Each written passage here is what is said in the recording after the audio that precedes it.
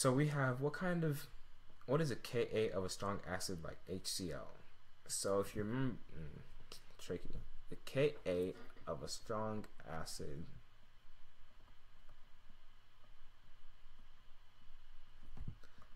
Like HCl.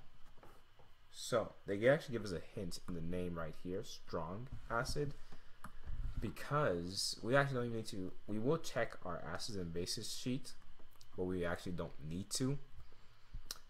If you're dealing with a strong acid, the Ka is greater than one for strong acids.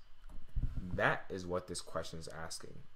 What does that mean in regards to HCl? It means that when HCl reacts with water, it will completely dissociate. Well, this eight hydrogen will completely get off the chlorine to where you only have these hydroniums relaxing. That's all you'll get. And that means that the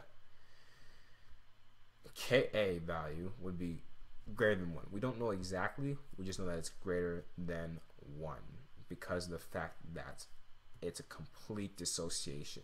Whatever value you have of HCl will be the same exact value you have of Cl and H3O once you're done. You pour some hydrochloric acid into water, completely dissociate, you get these. You start out with 1 mole per liter of hydrochloric acid, bam, you have 1 mole per liter of chlorine ions and 1 mole per liter of hydronium ions.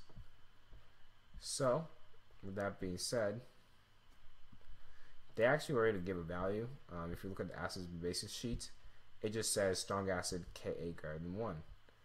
To find the um, Ka value, you really have to just look at the literature, whatever they say, um, just because it's just kind of like at a point when you go past 1, doesn't really matter what your value is, it just pretty much signifies that when you're put in water, you're not staying together. That's what it means by complete dissociation.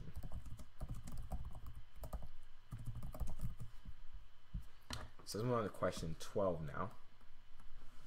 All right. So